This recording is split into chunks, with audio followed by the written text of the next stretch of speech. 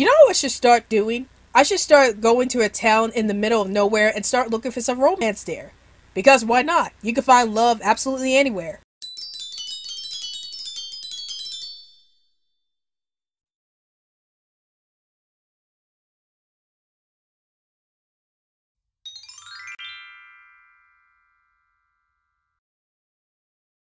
Hey everyone, this is Rabbitearsblog, and welcome to my TV at the Moment series. So my TV at the Moment series is a brand new series I just started up where I review TV shows that's currently running, and it can range from TV seasons to TV specials. And even though I want to go more into depth with this series, I know you guys are just here for the review, so I'm just going to go ahead and jump straight to the review, and here we go. So today's TV show that I'll be reviewing today is Virgin River Season 1, and before I get into my thoughts about the show, here are a few words from this channel. Hey guys, if you want to check out more content from this channel, then tune in every Sunday and Monday for new videos. And if you happen to see any videos posted up during the week, that means that there was a bit of movie and TV news that I wanted to talk about, so those will be considered special videos. And if you want to chat with me on social media or see when new videos are being released, then follow me through Twitter and Facebook.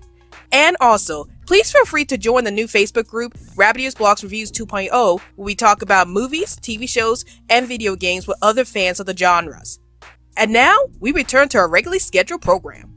So, Virgin River is a new series that just aired on Netflix, and it's based off of Robyn Carr's books. And basically, what the series is all about is about a young woman named Mel who goes to the town of Virgin River to become the new midwife for Doc.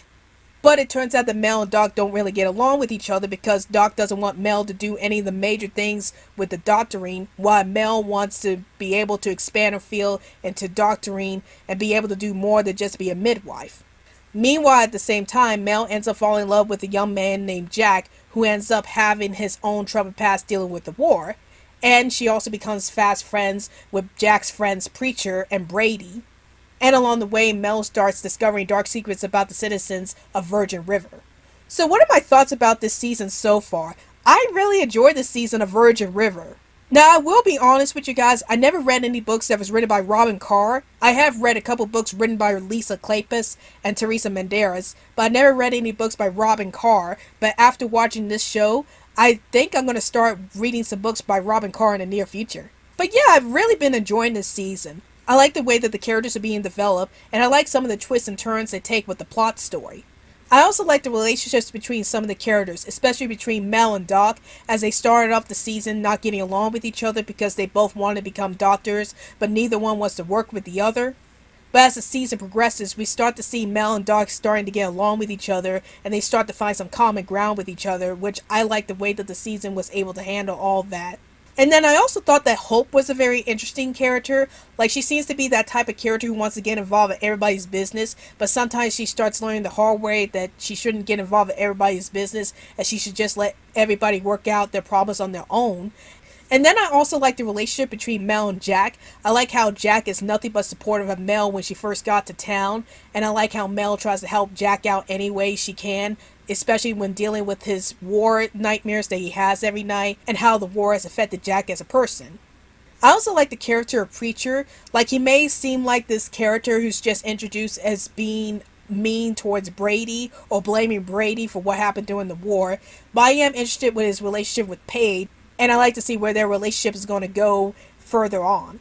And then I like the fact that this is a romance series. I usually like watching a lot of romance TV shows because romance is my thing. I love watching romance TV shows, and this is one of those type of shows. So I definitely went into this thinking that I'm going to really enjoy this series because of that aspect. Now, if I had a problem with the show, it mostly had to deal with how the characters were being handled towards the end of the season, and that was having obligatory love triangle between Charmaine, Jack, and Mel, and then having one of the characters not really tell each other the truth at the very beginning. Now, I usually don't like love triangles in general, so that's why I didn't like the whole love triangle between Jack, Mel, and Charmaine, and how it just came into the show suddenly. And I was really liking the relationship that was starting up between Jack and Mel, but then when they introduced Charmaine, it's like, oh no, we gotta have the obligatory love triangle between Charmaine, Jack, and Mel to make this season more interesting. And I just don't see that. Like, I never see why we had to introduce a love triangle to a series when just having drama between two people is enough to to stir up some drama with the show. And then there was that issue towards the end of the season when one of the characters didn't tell each other the truth, and that ended up putting a strain on their relationship, which I didn't really like because I'm one of those people who's like, you know, just tell that person that you love the truth from the very beginning. Don't struggle with it. Like, I can understand there's like situations where you can't really tell a person the truth at the very beginning because you're not sure how that person's going to react, or that truth is just too painful for you to relate to that person. But in the case here, it's like, yeah, you could have told this person the truth at the very beginning instead of waiting to the last second to tell the person the truth and then ruin everything between you and that person. But those are some of the gripes that I have with this season, and it just mostly had to deal with the tail end of the season rather than the whole season itself. So my overall rating for Virgin River Season 1 is watch it.